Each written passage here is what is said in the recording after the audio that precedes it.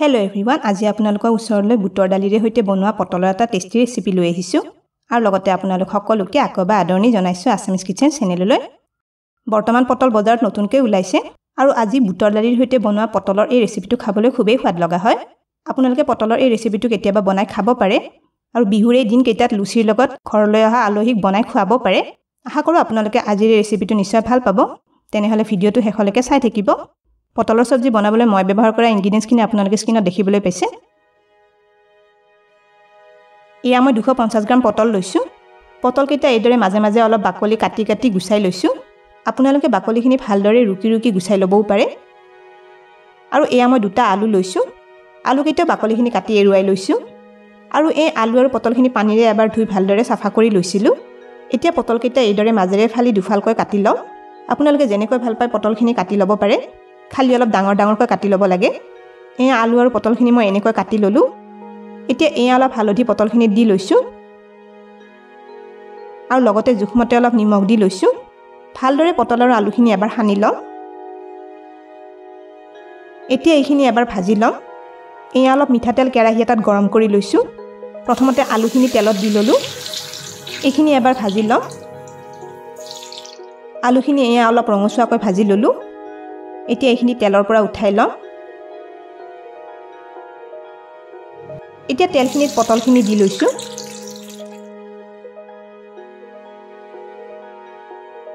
পটলখিনিও অলপ ৰঙচুৱা হোৱালৈ ভাজি লওঁ।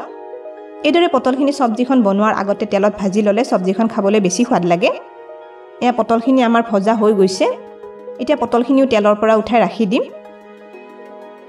পটল আৰু আলুখিনি ভাজি লোৱাৰ পিছত এয়া মই দুমুঠিমান বুটৰ দালি লৈছোঁ। এইখিনি মই পানী তিনি ঘণ্টামান ভিজাই থৈ দিছিলোঁ। দালিখিনি এতিয়া ভালদৰে কোমল হৈ পৰিছে।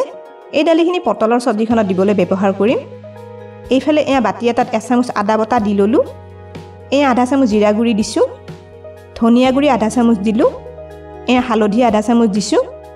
কাশ্মীৰী জলকীয়া গুড়ি আধা চামুচ ৰঙৰ বাবে দিছোঁ। এয়া মিট মছলা আধা চামুচ দিলোঁ। এয়া মছলাখিনিত অলপমান পানী দি লৈছোঁ। এইখিনি ভালদৰে এবাৰ মিলাই ল'ম। এই মছলাখিনি পটলৰ চব্জিখনত দিবলৈ আগতে বনাই লৈছোঁ। এতিয়া পটল ভাজি ৰৈ যোৱা তেলখিনিতে আধা চামুচ গোটা জিৰা দিলোঁ। দুটা শুকান জলকীয়া দি লৈছোঁ। এয়া ইলাচি দুটা দিলোঁ। এডোখৰ ডালচেনি দিছোঁ। লং চাৰিটামান দিলোঁ। এইখিনি ফুটি অহাত আগতে পানীৰ লগত মিলাই থোৱা মছলাখিনি দি ল'লোঁ। এতিয়াই মছলাখিনি তেলখিনি ওলাই অহালৈ অলপ সময় ভাজি লওঁ এয়া মছলাখিনি ভজাগৈ তেলখিনি ওলাই আহিছে। ইয়াতে বুটৰ দালিখিনি দি ল'লোঁ। এতিয়া দালিখিনি মছলাৰ লগত মিলাই অলপ সময় ভাজি লওঁ এইখিনিতে এটা ৰিকুৱেষ্ট কৰিলোঁ ভিডিঅ'টো চাই ভাল পালে লাইক আৰু শ্বেয়াৰ কৰি দিব।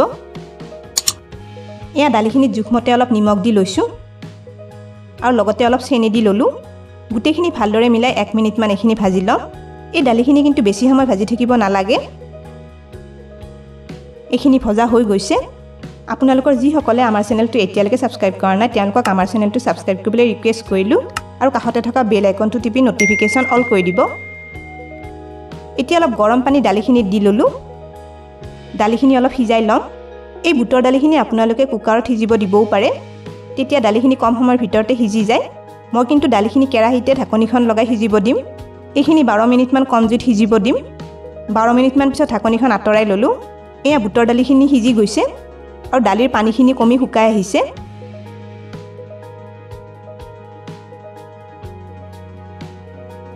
এইখিনি ভাজি থোৱা পটল আৰু আলুখিনি দালিখিনি দি ল'লোঁ। গোটেইখিনি এবাৰ মিলাই আৰু এক মিনিটমান ভাজি লওঁ। পটল আৰু আলুখিনি আগতে ভাজি লৈছিলোঁ বাবে এইখিনি আৰু বেছি সময় ভাজি নাথাকোঁ।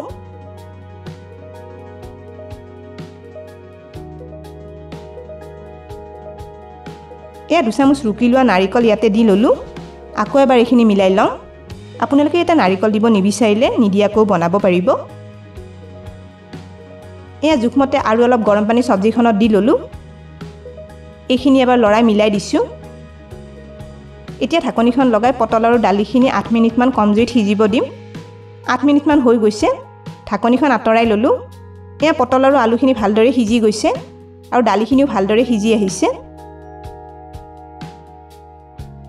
এয়া আধা চামুচ গৰম মছলা দি ল'লোঁ।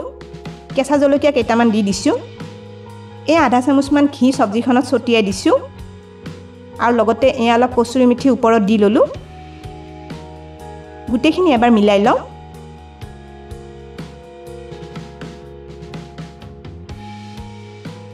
আৰু এয়া আমাৰ চব্জিখন বনোৱা হৈ গৈছে। এইখিনি এইদৰে অলপ থুপথুপীয়াকৈ ৰাখি দিম। গৰমে গৰমে পটল আৰু বুটৰ দালিৰ চব্জিখন পৰিৱেশন কৰিছোঁ। আপোনালোকে আগতে যদি পটল বুটৰ দালিৰ লগত এইদৰে বনাই খোৱা নাই এবাৰ এই ৰেচিপিটো বনাই খাই চাবচোন। মই ভাবোঁ আপোনালোকে নিশ্চয় ভাল পাব। ভাত ৰুটি বা লুচি সকলোৰে লগত পটলৰ চব্জিখন খাবলৈ খুবেই সোৱাদ লাগে। তেনেহ'লে আজিৰ ৰেচিপিটো কেনে পালে কমেণ্ট কৰি নিশ্চয় জনাব। ভিডিঅ'টো শেষলৈকে চোৱাৰ বাবে অশেষ ধন্যবাদ জনালোঁ আৰু ভিডিঅ'টো ভাল পালে লাইক আৰু শ্বেয়াৰ কৰি দিব। স্ক্ৰীণত দেখা পোৱা ৰেচিপিকেইটা চাবলৈ মই ৰিকমেণ্ড কৰিলোঁ। ভিডিঅ'কেইটা চাবলৈ ৰেচিপিটোৰ ফটোখনৰ ওপৰত ক্লিক কৰিলেই হ'ল। তেনেহ'লে আজিলৈ আহিছোঁ আকৌ লগ পাম আৰু এটা নতুন ৰেচিপি ভিডিঅ'ৰ সৈতে।